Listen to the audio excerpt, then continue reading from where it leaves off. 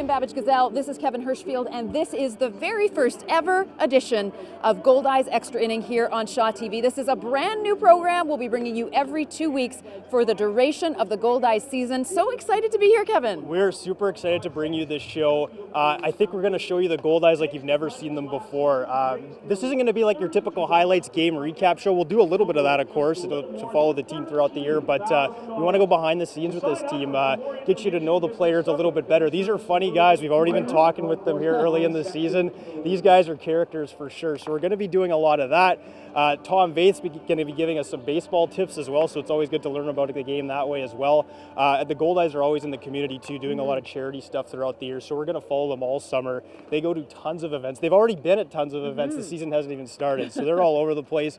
Uh, and of course, we're going to touch on the fans as well. I think these are some of the best fans in the American Association they're all here when those theme nights come. Mm-hmm. You know, mm-hmm. the zombie nights, yeah. bark at the park Bacon and stuff. night. Uh, they're so creative with the stuff that they wear too. So you know, we're going to be here for those nights, and yeah. there's some diehard fans here as well who've been with this team since the very beginning. So uh, you're going to learn a little bit more about them as well. This is going to be a fun show, action-packed show. Yeah. It's going to be fun all summer. Well, today, of course, is the very first day of spring training for yes. 2017. We've got the open house going on as well. So there's lots going on in the park today. The guys are behind us for the first time together. This is the first time they've actually had Rick Forney uh, leading the crew because he just arrived in town. So uh, big day for everybody and a big day for the show. We've got yes. a lot uh, to tee up. So Marlene, who you may recognize if you're a Shaw TV viewer, she is yeah. like the biggest Goldeyes fan ever. We made her a star yes. last year. She had her own segment and she killed it. And, she, and I think we're going to be seeing her a few times this That's year. That's right. So she's back, and she's going to be talking to the fans today.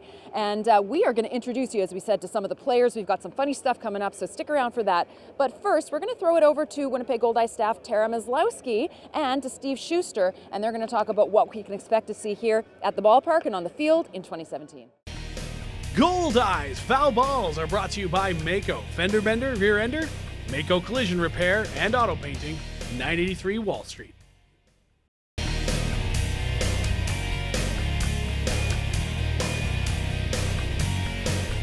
We are joined here with Goldeyes General Manager Andrew Collier. Andrew, take us through what an off season looks like. Um, so Rick and Tom are busy working in the off season, trying to recruit guys to come to Winnipeg.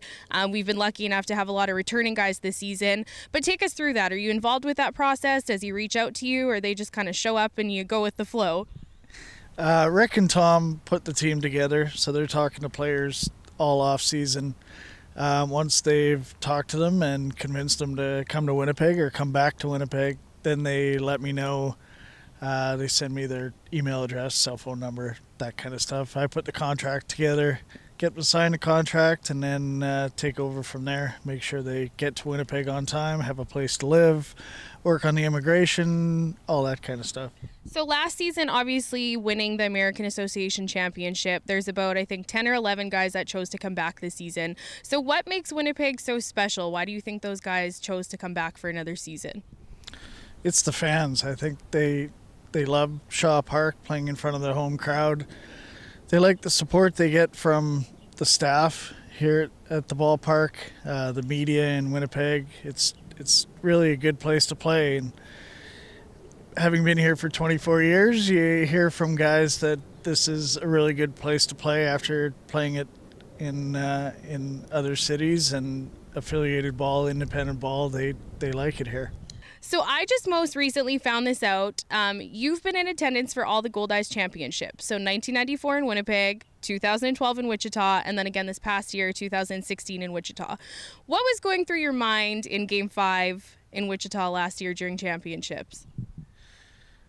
Um, actually, both 20, all three of the clinching games were not really close, so I was able to not relax but feel a little bit better in 94, uh, Dan Bailardello hit a grand slam in the middle of the game to put us up by a lot, so that was good. And then 2012, we I think we won 8 3. And then last year, Reggie went on a tear and knocked everybody in. So it wasn't that close. So I was able to relax a little bit, but not until that last out was made. We're going to let fans in on a little secret about you. So, I found this out the past couple seasons working here. You are a very superstitious person. So, has that always been from the get go, or has that been when the team goes on a winning streak, you just stick to what you've done? Or talk to us a little bit about that.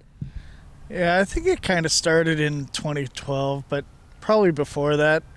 I just like to do the same things if things are going well and change it up if they're not. I I guess that's superstitious, but I don't do the same thing every day all year.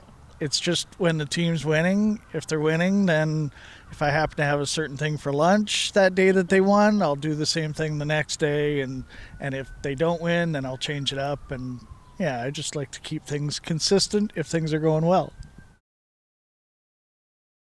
Manitobans recycled over 85 tons of residential material last year. That's enough to fill Shaw Park over 10 feet high. When each person pitches in to help make our community greener, everybody wins. Learn more about multi-material stewardship Manitoba and what you can and can't recycle by visiting simplyrecycle.ca.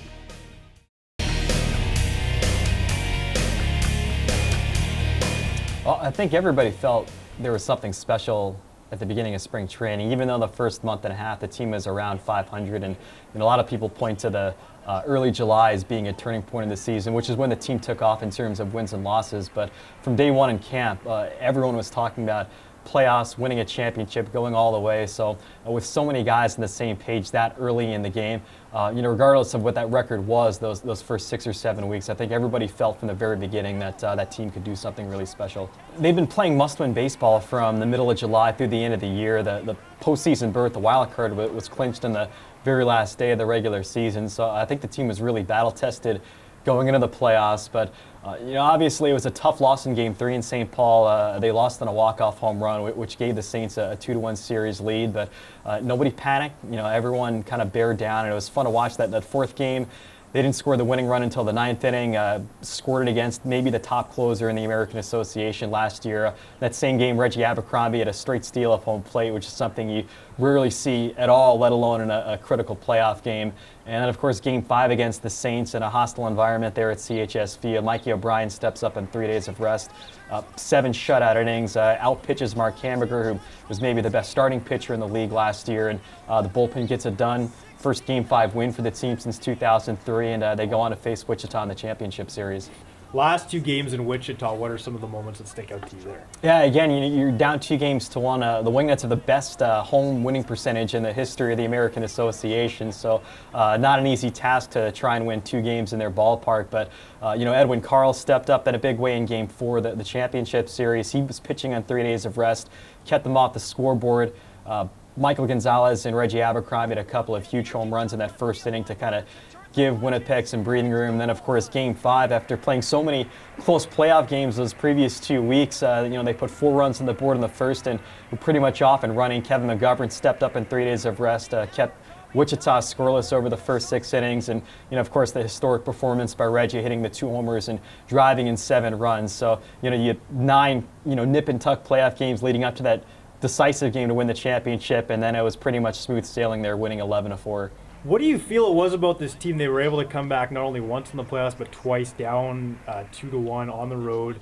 What was it about that team that made those comebacks possible? Well, from what I saw, I think it was a combination of what I said earlier that from day one, you know, even though there were ups and downs throughout the season, from day one in spring training, everybody believed they could go all the way and win the championship. And it's kind of rare in independent baseball where um, the majority of the team stayed together throughout the entire year. I mean, there were obviously a couple of key additions like you know Willie Cabrera, Victor Kapian, and, and Winston Abreu, but for the most part, the, the overwhelming majority of that team from spring training was, was with the club until they won the championship. So, you know, combination from that of that belief from, from day number one, and the fact that these guys really did care about each other uh, to a man. That they uh, it was one of the best clubhouses I've ever seen, and uh, one of the best professional clubhouses I've been around in terms of guys just caring about each other as people, in addition to getting it done there on the field. What's the feeling like being part of an organization? You start at the beginning of the season, you travel so many miles to cap everything off such a long year with a championship. What's that feeling like? It's uh, it's hard to describe. To be honest with you, it's really hard to describe. It's uh, it was the first time I had ever experienced that, and for a lot of the players of the team, it was the first time that they had experienced it. It's just kind of one of those things you have to enjoy as it happens, and um, I don't think it set in for a lot of guys until after that that final ad had been recorded, and after that celebration, it kind of carried on for a couple of hours because. Uh, it was must-win baseball for such a long time, and you know, even going into that fifth game, in Wichita that it was just, you know, they were just fighting for their lives. They were fighting inning by inning, at bat by at bat, and then all of a sudden, you know, what happened? You get that 27th out in game number five, and, you know, it's almost a, a relief as much of it is a, a joy at that point. I don't know if you know much of how the other teams are shaping up, but uh, what do you think are the chances that this team can maybe do something special like they did last year? Yeah, it's, I mean, uh, obviously you're really excited about what the Goldeyes have brought back, not just in terms of the, the, the 12 players from the championship team, but they brought some really intriguing names uh, from outside of the organization.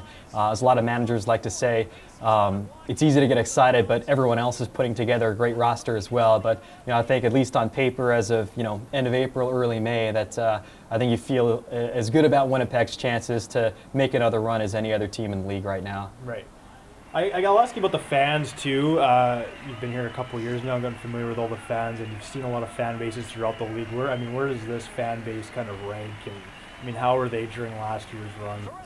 Yeah, I mean, it's second to none, and that's not to take anything away from the other great fan bases around the American Association or the affiliated minor leagues. But uh, in terms of the, the volume, the number of fans that come out game after game and year after year here in Winnipeg, and uh, how closely they pay attention to the team, how passionate they are about the Winnipeg Goldeyes. Uh, it, it, really is second to none. It's, it's, fun to watch from my perspective, and I know it's one of the, uh, the major reasons why guys want to come back year after year and why uh, players from other teams, you know, when, when, they become free agents or become available, they want to come to Winnipeg to play here because of the great fan support.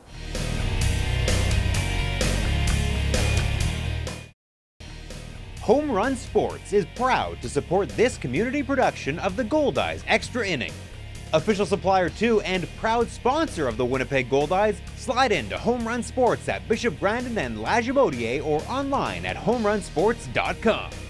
We've got all the bases covered at Home Run Sports. Get ready for your game.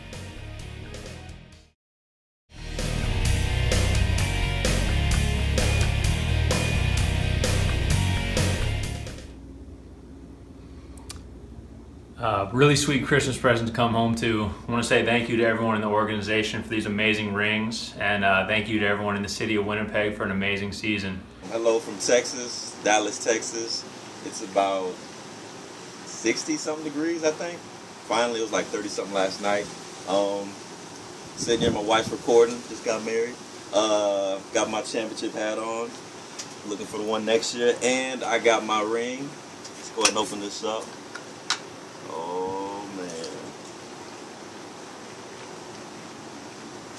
Bam! Got to get another one next year. Next year, all right. Love the city in the background. The diamonds are nice as well. And seems like just the other day we were pouring champagne on each other in Wichita, celebrating our big victory. Hey everybody in Winnipeg, I got a special gift in the mail today, and I just want to say thank you for an amazing season. Uh, I want to say thank you to the front office, uh, to my host family, and especially to you fans for all the support that you guys gave me this year. How's it going, Winnipeg? I just want to say thank you guys for coming out and supporting us in 2016, helping us win this ring, and uh, let's do it again in 2017. David Rohm out here in California. Just got home to find this nice ring. Thanks for a fun season. Dun, dun, dun. Oh, yeah. Oh, yeah, that's the good stuff right there. Bam, right there. Bah, bah, bam. Shout out to all the fans all the boys at home. Yeah, this is awesome. Thank y'all, front office, everybody. Everybody. Thank you, Skip, Hoopy, Adam, Rome, everybody. Mama Hen, everybody. Cabrera, Mikey, everybody. Thank you for making this possible for me. It looks real nice on my chocolate skin. Looks nice.